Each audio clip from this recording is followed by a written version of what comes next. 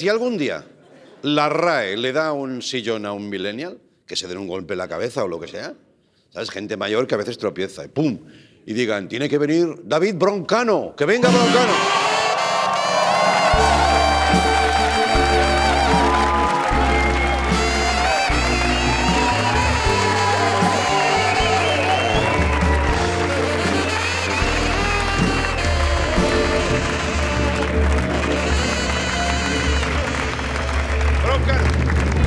Aquí. ¿Qué pasa? Bienvenido, David.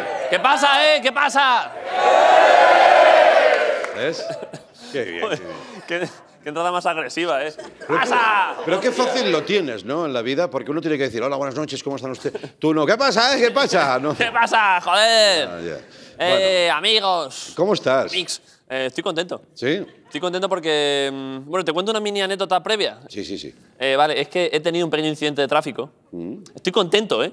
Porque eh, he tenido un incidente de tráfico de, uno, de un desgraciado que me ha cerrado ahí. ¿Sabes lo típico de.? Sí. La culpa del otro, ¿no? La culpa Sí. del otro. un- Sí, sí. Vamos, si lo pillo lo mato. Sí, sí. Y entonces, pero eso me ha dado ocasión, porque luego eh, me he puesto a su lado y él me ha hecho un gesto feo, feo, no era bonito. Y me ha dado, por eso estoy contento, me ha dado la ocasión de hacerle, que hace mucho que no le hacía, lo del árbol y el río. Ah, amigo, claro. Antonio, ¿sabes lo que es? ¿Sabes lo que es? Sí, creo que sí. pero ¿El árbol y el río? Sorpréndeme, sí, sí. ¿Lo sabéis lo que es el árbol y el río? Pero es una cosa del instituto que se hacía mucho y llevaba años sin hacerlo y es que me encanta hacer el árbol y el río. Bueno, pues adelante. Es un gesto despectivo, está feo hacerlo aquí en Movistar. No, bueno, pero No sé si, se ubica en, en- en esa anécdota y... pero no sé si leitmotiv el programa de Andrés Buenafuente, estando Andrés Buenafuente presente, no Ya. sé si permite el árbol y el río. No sé. Tendría que mirar el contrato, pero vamos. eh, Vamos a ver. ¿Tú nunca te lo han hecho, el árbol y el río? Sí, yo creo que sí. El árbara y el río. ¿Cómo? Se dirá así, ¿no? Larbra. El árbara. Molt bé. ¿Se dice así? A ver, l'Arbre y el río, Lo he ¿cómo hecho es? voleo, ¿eh? Sí, Aquí hay un árbol. sí. ya se ve venir. Aquí hay un río. Se cae el árbol, salpica el río. A tomar por culo. ¿No. Sí, sí, sí. ¿Y eso se lo has hecho? Ya lo he hecho. He puesto en peligro mi propia seguridad porque tengo que soltar las manos del volante. Eso te iba a decir. Que no se debe. Ah, Y encima lo peor es que, claro, la gracia del árbol y el río es decirlo. Pero él no me ha oído porque iba tres carriles más para allá. Mm. Claro. Entonces lo que él ha visto de lejos es. Ah, claro, ha visto todo el proceso. Claro, y yo, aquí hay un árbol, aquí hay un río, se cae el árbol, salpica el río. Mira, David, eh, me tienes la cabeza loca, tío. Eh, haz tu sección, hazlo. ¿Lo hago ya? Sí, hazlo. Vale, venga. esa era la anécdota. ¿De qué quieres hablar? ¿Qué ¿Cuánto, ¿Cuánto crees que me quedará?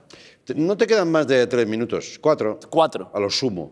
¿Cuatro minutos? Sí. Es, tengo un vídeo. Es gracioso. Lo voy a hacer. Venga. Un vídeo en tres partes. Vale. Vale. Eh, es un vídeo de chinos que se dan patadas en los huevos. ¿Te esperabas? ¿Tú qué estudiaste? Ahora en serio, ¿tú, tú qué estudios tienes? Eh, finalizados, eh, tengo bachillerato. Porque luego cursé estudios. Es que esto, si yo creo que te lo conté un día, esto es muy lamentable. Cursé estudios, si junto mis años de universidad, Sí. juntos, todos los créditos que tengo aprobados, Sí. juntos dan para una carrera. Pero como los diversifiqué como un subnormal, pues no me da para nada. Bueno, en fin, ya hablaremos un día en profundidad de eso. Que tampoco soy yo nadie para darte lecciones con currículum universitario. Pero un ¿eh? momento, ¿tú tienes más o menos que yo? Vamos con el vídeo, venga. eh. Vamos con el vídeo. Vale, eh, primera parte del vídeo, mira.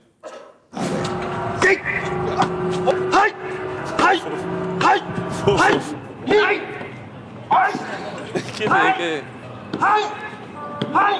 Pero eso, Ah, vale, vale, vale. ¿pero eso qué es, David? Eh, bueno, pues es que, hay, que hay, hay gente que le gusta hacer cosas. Eh, no sé si te has fijado que en, el en la primera parte del vídeo salen unos yayos al fondo grabando con el móvil. Sí. Fíjate si no habrá obras en China que están todo el rato haciendo edificios. Y aún así esto es tan entretenido que, claro, tú entre, Claro. entre ver un, alguien encofrando Claro. y ver un buen y ver ahí que te están machacando la huevada, pues hombre, mucho más. Hombre, es que tú vas por un parque de, de China Claro. Y ves a unos tíos con kimono dándose patadas y el móvil lo sacas. Vamos a verlo. Y oye, ¿te has fijado que el que hace joya, joya, Sí. joya es el que pega, no el que recibe? Claro.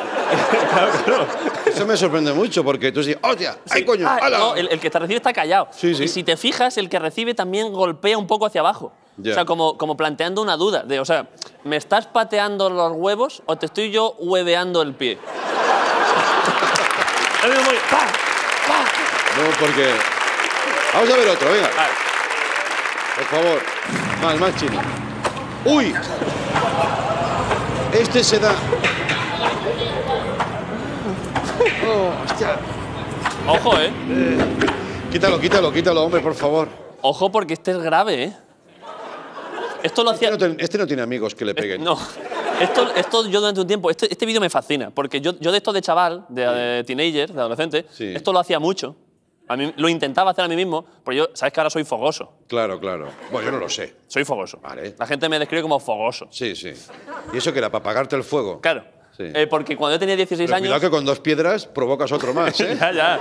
Pero yo intentaba de chaval Sí. eh, atacar a mis propios genitales Sí. para que me dejasen estudiar el bachillerato. Porque, porque me, me llevaban, iba loco. Era- eran tu principal enemigo, ¿no? Claro, entonces yo- esto me flipa a estos señores porque cuando tú. Mañana tengo examen, mañana tengo examen. Claro, claro, era que para ya, joder. Ya. Entonces me intentaba golpear, a lo mejor con un estuche de rotuladores o lo que fuese.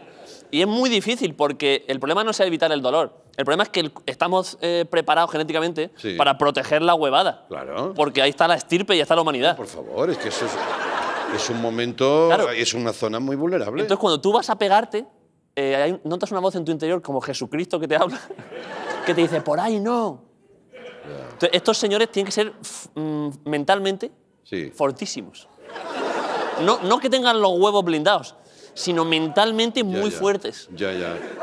Para vencer a la evolución. tienen los huevos en la- el cerebro y el cerebro en los huevos. claro. y eso explicaría que... Eso es. Bueno, David, eh, no sé por qué has puesto estos vídeos, pero nos han Me distraído. quedaba uno. Venga, ponlo, va. ¿Lo pongo? Claro, coño, es adictivo. ¿Cómo lo vamos a poner? Va, otro, va, rápido. Vale, muy rápido. ¡Hola, hombre! Sí, hombre. Ah. Ya sabemos cómo Telefónica acabó con los postes, ¿no? Gracias, David Broncano. Gracias.